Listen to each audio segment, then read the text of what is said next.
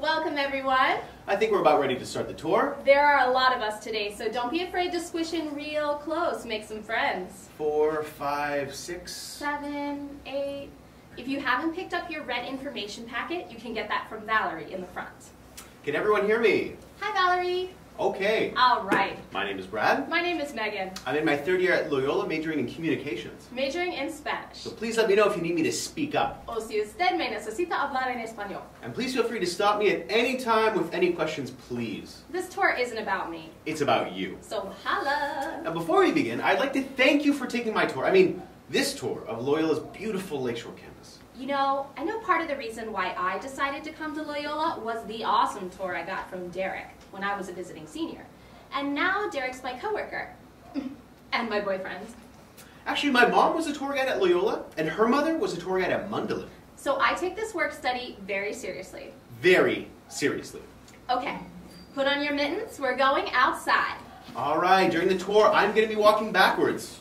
So, like, let me know if I'm about to run into anything, okay? I don't want to die today. That would be bad. Okay, so the first stop on our tour is my favorite stop. Majestic Lake, Michigan. They say the lake is actually big enough to fit the entire country of Ireland inside with room for cream. Irish cream, I guess? is anyone here Irish? It's actually the deadliest lake in North America, with more downed vessels than all of the other Great Lakes combined. But that's not like in our information packet, it's just something I read in Time Out. Is anyone interested in history? Now, most of our first year students live on campus, which means the rumor about Loyola being a commuter school is just totally not true. Unless you consider crossing the main road a commute, which, okay, I do. So behind us we have the old Jesuit residence. That's where all the priests live, but we'll get back to that later on on the tour. And you guys, that place is sick. I mean, like, so nice. I went in there once for a student leadership dinner, and I was like, if this is poverty, bring on chastity.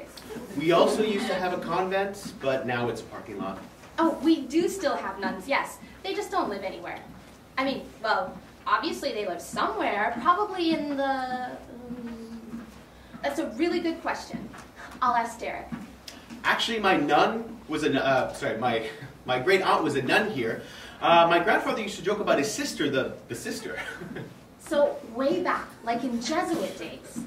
Her father worked for the old Morton salt factory. You know, the one with the little girl, the umbrella, and the bad packaging. They couldn't afford to send their children to college, so my great aunt joined the convent for the free education There was this story. and for the greater glory of God. Well, myth really, about a nun who fell in love with a. I might not be allowed to tell this. Sorry, I'll stick to the tour. Sailor fell in love with a sailor. Swear to God. Oh, and speaking of God, Madonna della Strada. Madonna by the lake, because it is. As you can see, the chapel was built in classic Art Deco style, so it was completed before my great aunt, the sister, arrived in 1935. I mean, it wasn't like a full-on affair. She was a nun, for Christ's sakes. This could very well be where she took her final vows. He was on shore leave, just a kid, really. 18, 19 at most. Sorry, I'll stick to the tour. He'd never been to Chicago before, and the bigness of it nearly scared him right back into the lake.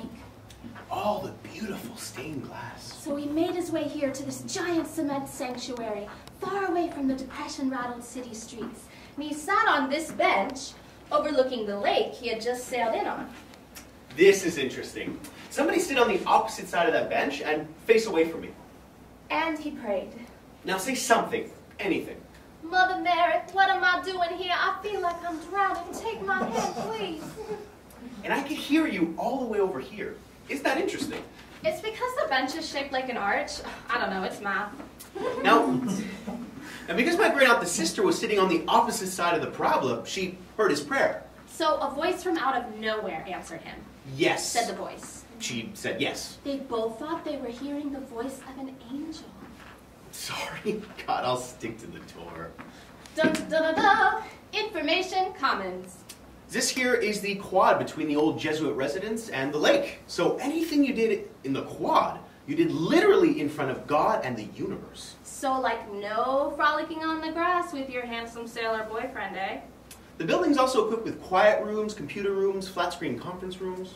Okay, so what they would do is sit on the quad with their hands on the Bible, hers right on top of his, So anybody walking by would be like, oh, they're just praying. And in a way, they were. Oh, there's also a coffee shop. Wow, you know, we are making really great time. I should walk to my classes backwards. Oh, not that I'm ever late for my classes. I love my classes. The sister was late for everything. The sailor was always on time, which meant that he spent a lot of time just standing around with his hat in his hands waiting for the nun to arrive.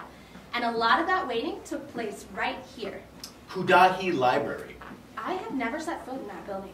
This here's the future location of the Dinobili Hall. It's going to be a self-sufficient building. But they had nowhere they can go. He couldn't introduce her to the guys. Self-sustaining? She couldn't bring him into the convent, I get those two confused. so they made their own place. It makes its own energy. In plain view of everyone. Self-reliant.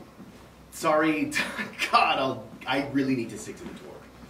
Norville Center for Intercollegiate Athletes. If you care about sports, which I don't. It's not that she didn't care about her vow. She did. It's what made it so hard. Sorry, this is hard to do without looking back the whole time. Is anyone interested in history? He'd been around the world and never met a woman like her. Salt of the earth. Morton salt. Hard, of course. She was looking for a lifetime of service. But how could she care for somebody until somebody had cared for her? You know, yesterday this was a tennis court. Today it's a Quiznos. Everything changes so quickly, she said. What? He yelled as his ship pulled away. Look up, look up. Can't you see it? You're in the middle of a country, in the middle of two oceans, only miles away from the moon. Don't just sit there. Get up. Do something, do something, do something. But I'm rambling.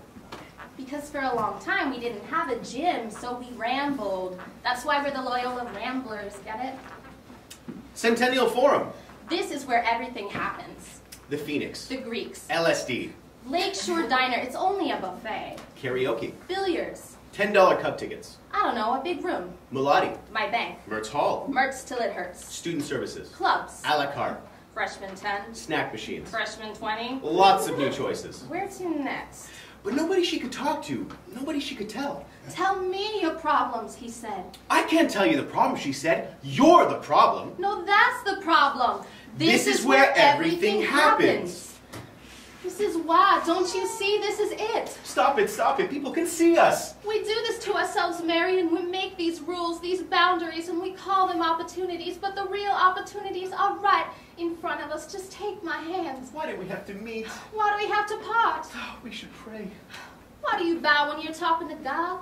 Ain't God supposed to be up? Just please hold your questions. Look up, look up. The whole world there. Tell me that ain't God. We should move up. If you leave, you can never look back.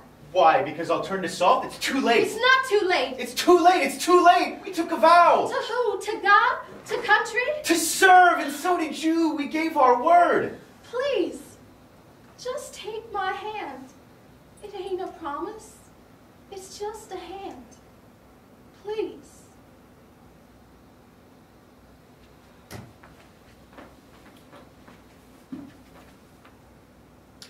And this is where all of that happened. Look, a kite. Up in the snow. Wow, that's never happened on a tour before. Loyola has seven campuses.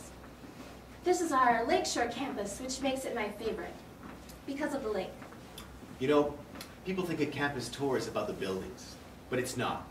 It's a journey. So this building is red and this one is new. So what? The back of his neck smelled like salt and it reminded her of home. That's a tour. Just like that, we're back where we started. That's an education. That's a good question. If I had to pick one thing, I'd say it was the lake. When I spent a semester abroad in Rome, I missed my friends and everything, but what I really longed for was the lake. It's like it's always changing, but it's consistent. You can count on the lake, pushing up against the city, against the campus, against the walls of my freshman year dorm. I have to wonder, where is it trying to go? This violent, unmoving body of water? Where does it think it's going? Unfortunately, our time has come to an end. Where is it trying to go? I hope you all come back. This unmoving thing? I could go on. Forever. Does, Does everyone, everyone know where they're, they're going? going?